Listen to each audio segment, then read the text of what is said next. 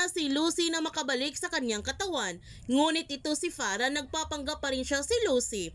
Pinipilit niya ang kanyang sarili kay Darius na siya pa rin si Lucy. Ngunit hindi naniwala si Darius sa kanyang mga sinasabi dahil alam niya nakabalik na ang kanyang asawa sa kanyang katawan. Pero ito si Farah, hindi siya hihinto na sirain ang buhay nila Darius at Lucy.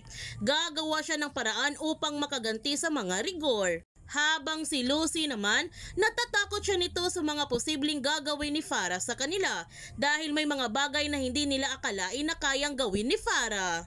Kaya huwag natin palalapasin ang kapanapanabik ng mga tagpo sa Stolen Life. Kung bago ka pa channel ko, don't forget to like, subscribe, ang click notification bell para palagi kang updated sa mga videos in-upload ko. Thank you for watching and God bless everyone!